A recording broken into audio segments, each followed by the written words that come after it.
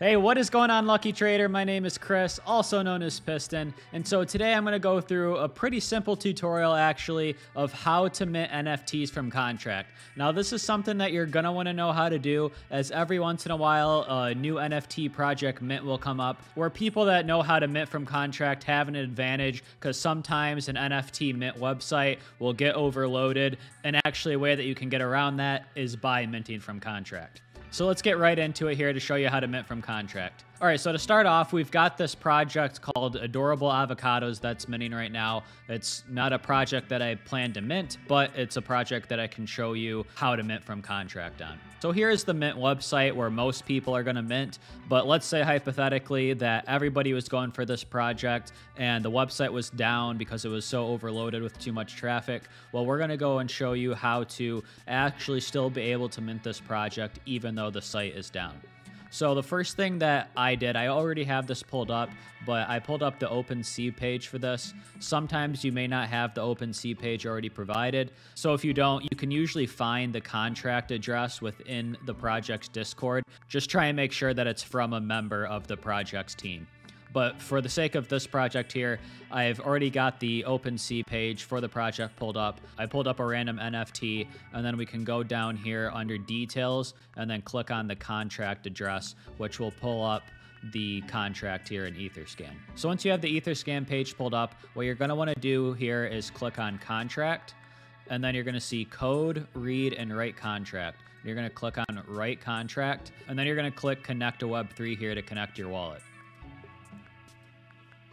All right, so now that your wallet's connected, you're gonna have all these different options here to click on. And the thing you're gonna be looking for usually is gonna be something that has the word mint in it. Luckily with this project, it is just as simple as it saying mint with number three right here.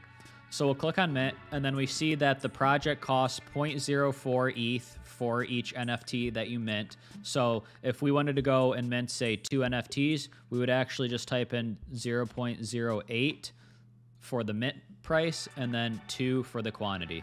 And same thing, if you're just minting one, you'd put in 0.04 and then one for the quantity. And then you're gonna click right here and a MetaMask screen will pop up and you can see everything would work according to plan. It would mint this for the 0.04 price plus gas if I click confirm and, and you know went through with the transaction. However, I don't really want to mint this project, so uh, I'm not going to be doing that. Now, a good thing to know is that if you're not actually supposed to mint the project, that when you go and click right here and the MetaMask screen pops up, the gas price is going to be extremely high, like over one ETH. And so I actually have a project, uh, Cryptoon Goons here, that you know is already minted out, you know, several months ago, where you I can go and show you what it's going to look like if I tried to mint the Cryptoon Goons, which you know is already minted out. So here, Cryptoon Goons had costed 0.07 ETH when they originally minted. And so I'm going to put that in there with a mint count of one and click write. So if Cryptoons were actually minting right now, you would see the 0.07 price here with a reasonable gas fee.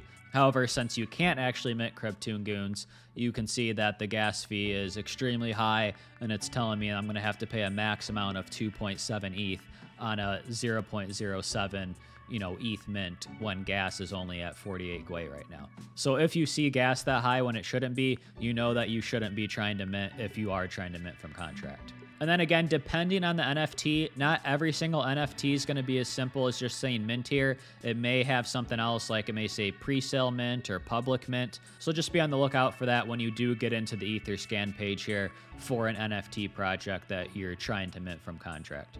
And then also just be aware where you're getting the contract link from. Again, make sure that you're getting it from a reputable source, preferably somebody from the NFT project's actual team within their Discord.